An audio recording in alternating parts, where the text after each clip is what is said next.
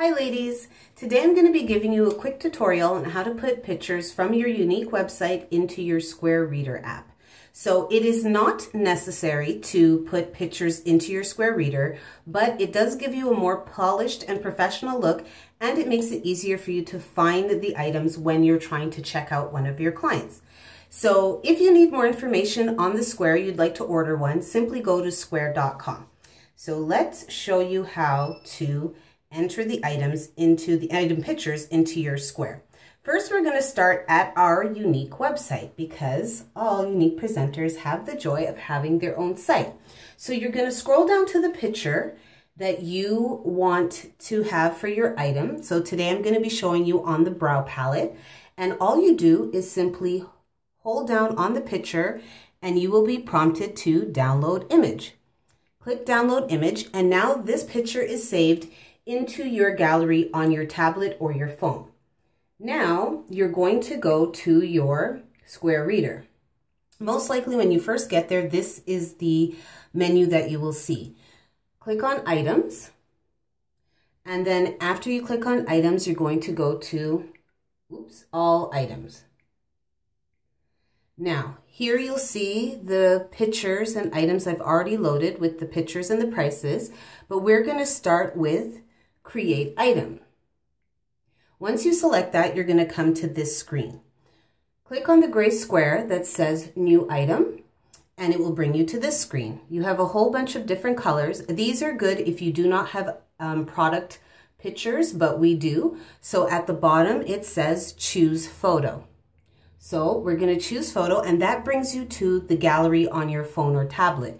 Here you see the picture of the brow palette that I just saved.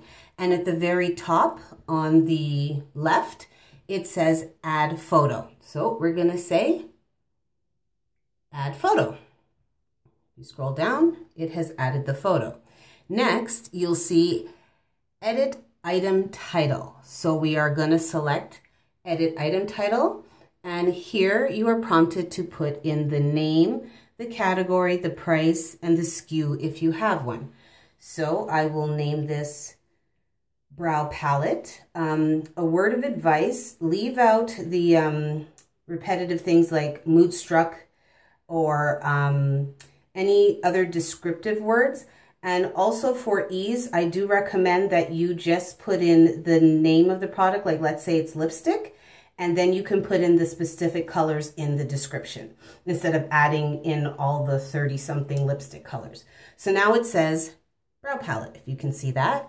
I do have categories. You can have them or not. It simply, again, makes it easier to find when you're looking for items.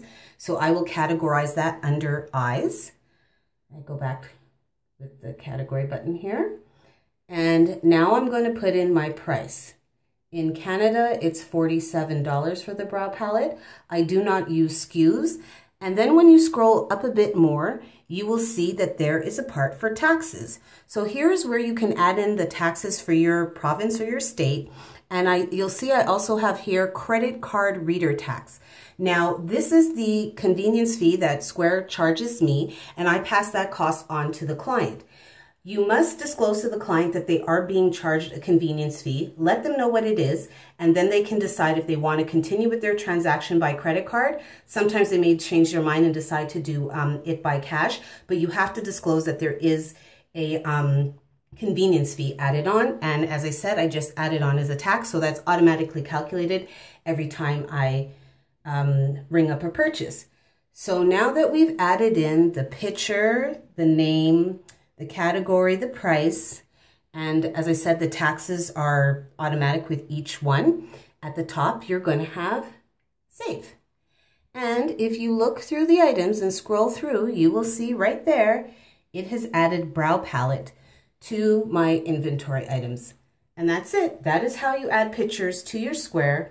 And it just gives you a more polished professional look. It's easy for the client to see what they've gotten and it helps you from making mistakes. So that's it. It doesn't take a lot of time. Grab a glass of wine, do by category, and uh, you'll be all set up in no time. And then every six months when we add new products, then you'll only have to add those. So that's it. If you have any questions, please feel free to contact me. I'm here to help. All right, have a good night.